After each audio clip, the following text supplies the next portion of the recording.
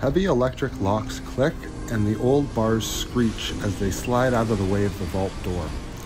The heavy blast door of Vault 101 grinds as it begins to open for the first time in 200 years. You shield your eyes from the sun as you step out of the vault, ready to recolonize the surface. But the world beyond the door isn't as empty as expected, and it's anything but safe.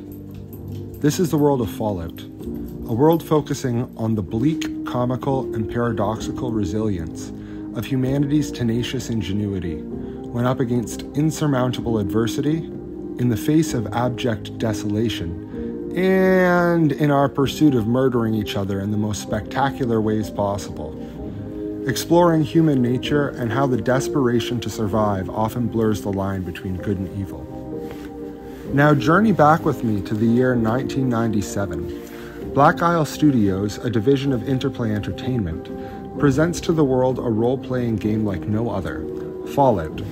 Set in a post apocalyptic world, the game introduced us to a future where society is struggling to survive in underground vaults.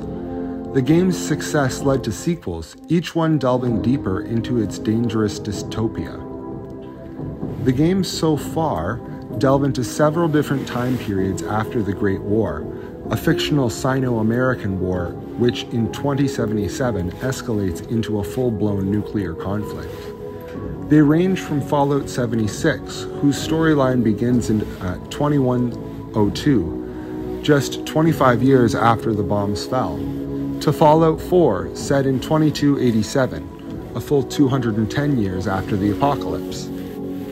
The Fallout series didn't stop at just being a collection of fantastic games.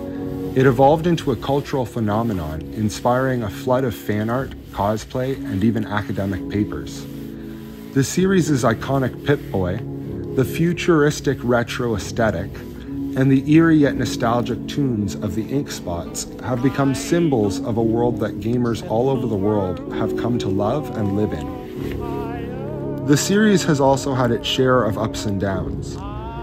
The first game in the series was originally conceived to run on the GURPS or GURPS role playing system but Steve Jackson, the creator of the GURPS system, took issue with the game's violent content.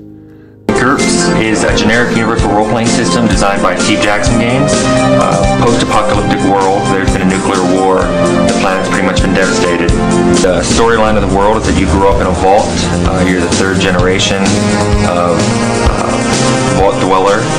you've been in the vault for all your life and you're 20 years old, and the people who've been living in the vault have been there for 80 years. Some of our heads were done um, as clay models, which we then uh, used a 3D laser scanner to make a model and import them into Lightwave where we animated them, provided facial textures and facial features.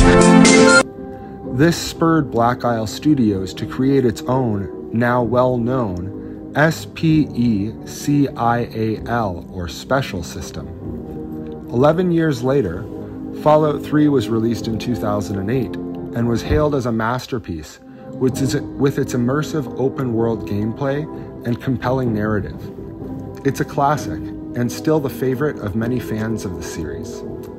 However, Fallout 76, an ambitious multiplayer version of Fallout, was criticized for a host of issues, including its lack of a strong storyline and several technical glitches.